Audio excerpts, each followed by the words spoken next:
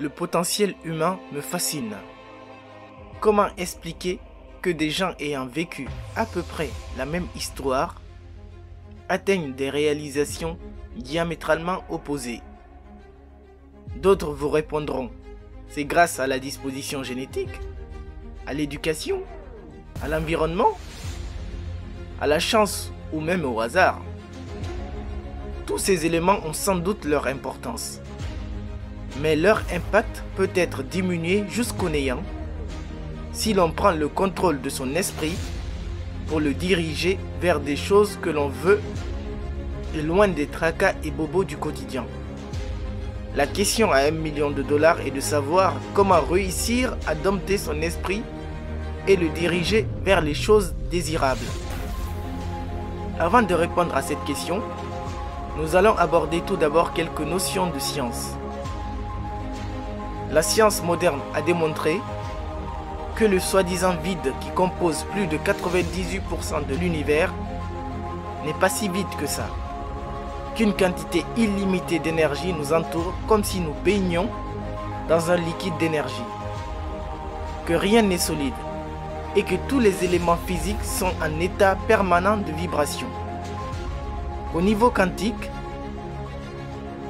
c'est-à-dire au niveau de l'infiniment petit, qu'une particule peut se trouver à plusieurs endroits en même temps, à savoir plusieurs états différents simultanément.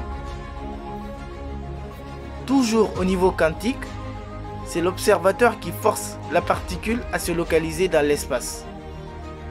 Nous pouvons continuer ainsi jusqu'à Mathusalem, car les révélations de la science sur l'énergie du vide au niveau quantique est inépuisable. Vous vous posez maintenant la question de savoir que fait votre esprit dans tout cela? Je vais vous le dire. Votre esprit, s'il est dirigé et parfaitement contrôlé et coordonné, peut capter autant de cette intelligence qu'il le désire dans l'atteinte de son but. Vous me direz alors, waouh, je veux bien capter moi aussi. Et je vous reprendrai, ainsi soit-il.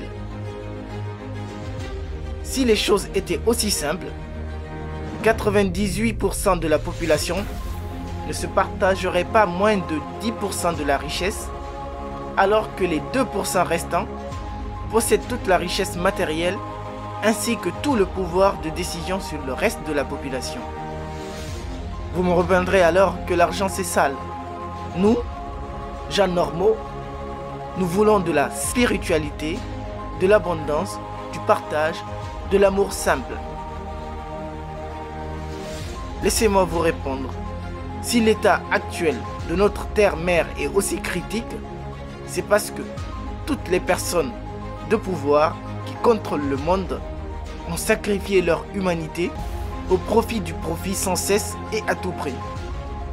Donc, si plus de personnes spirituelles éveillées vivaient l'abondance dans tous les niveaux, il pourrait remplacer peu à peu nos leaders actuels afin de ramener l'humain au centre du débat avec une prise en compte de l'environnement.